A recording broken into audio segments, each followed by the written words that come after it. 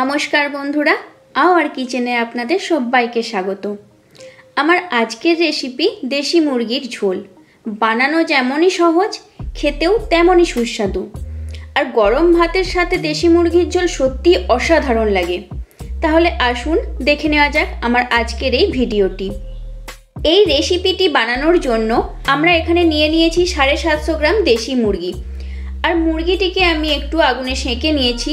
এই দেশি মুরগি যদি আগুনে সেঁকে রান্না করা যায়, তাহলে এর স্বাদ খুব সুন্দর হয়। এবার এটিকে ম্যারিনেট করে নেবার জন্য দিয়ে দিলাম দু চা চামচ লবণ, এক চা চামচ হলুদ গুঁড়ো আর দু চা চামচ সর্ষের তেল। আপনারা এখানে উইদাউট স্কিন চিকেনও নিতে পারেন, তবে আমি এখানে ছালসহ চিকেনটাই নিয়েছি। ব্রয়লার মুরগির থেকে এই মুরগির মাংস কিন্তু অনেকটাই টাফ হয়। তাই এটা কুক হতেও অনেকটা সময় লাগে।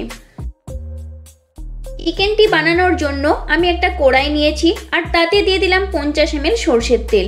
তেলটি অল্প গরম হয়ে আসলে দিয়ে দিলাম হাফ চা চামচ চিনি আর ফোড়ন হিসাবে দিলাম দুটি তেজপাতা, হাফ চা চামচ গোটা জিরে, শুকনো লঙ্কা, এলাচ, দারচিনি আর লবঙ্গ। এবার এই মশলাগুলিকে 30 থেকে চল্লিশ সেকেন্ড মতো ভেজে নেওয়ার পর দিয়ে দিলাম তিনটি মিডিয়াম সাইজের কুচানো পেঁয়াজ। পেঁয়াজ ভাজার সময় দিয়ে দিলাম এক চা চামচ লবণ। গ্যাসের ফ্লেমটিকে মিডিয়ামে রেখে পাঁচ ছ মিনিট ধরে পেঁয়াজটিকে ভেজে নেব। যখনই দেখবেন এরকম হালকা হালকা কালার চলে এসেছে, তখনই এখানে আমাদের দিয়ে দিতে হবে ম্যারিনেট করে রাখা চিকেনটি। চিকেনটি আমি ম্যারিনেট করে প্রায় কুড়ি মিনিট মতো রেখেছিলাম। আপনারা চাইলে আরও বেশি সময় রাখতে পারেন। এবার পেঁয়াজের সাথে চিকেনটিকে ভালো করে কুক করে নেব। আর এই চিকেনটি ভাজার সময় এখানে আলুগুলিকেও একটু ভেজে নেব। আলুগুলিকে ভালো করে মিশিয়ে নেওয়ার পর এখানে দিয়ে দিলাম দু চা চামচ রসুন বাটা ও এক চা চামচ আদা বাটা। আলুগুলি আমি আর এক্সট্রা করে তেলে ভাজিনি, মাংসের সাথেই ভেজে নিচ্ছি কারণ এই মাংসটা হতে অনেকটা সময় লাগবে, তাই আলুটা মাংসের সাথেই বয়েল হয়ে যাবে। আদা রসুন দিয়ে চিকেনটিকে পাঁচ ছ মিনিট ভালো করে ভেজে নেওয়ার পর দিয়ে দিলাম এক চা চামচ কাশ্মীরি লঙ্কা গুঁড়ো, হাফ চা চামচ হলুদ গুঁড়ো, এক চা চামচ জিরে গুঁড়ো আর হাফ চা চামচ লাল লঙ্কার গুঁড়ো। আপনারা চাইলে পুরো রান্নাটি কাঁচা লঙ্কা দিয়েও করতে পারেন। তবে আমি এখানে গুঁড়ো লঙ্কাটাই ব্যবহার করেছি।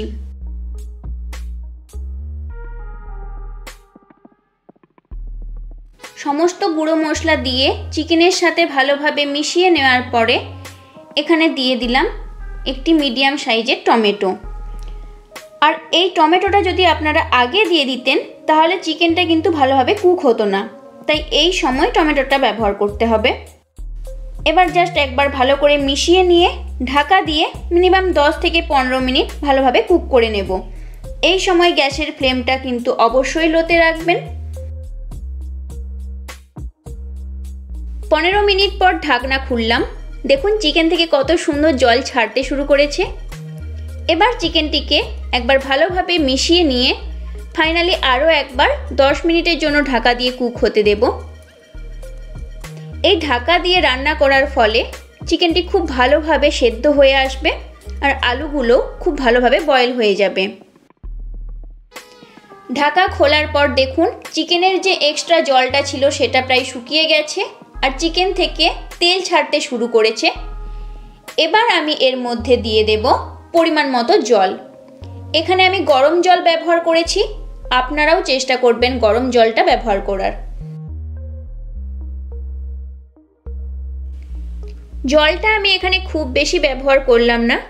আপনারা যদি পাতলা ঝোল পছন্দ করেন, সেক্ষেত্রে জলের পরিমাণটা একটু বাড়িয়ে নেবেন।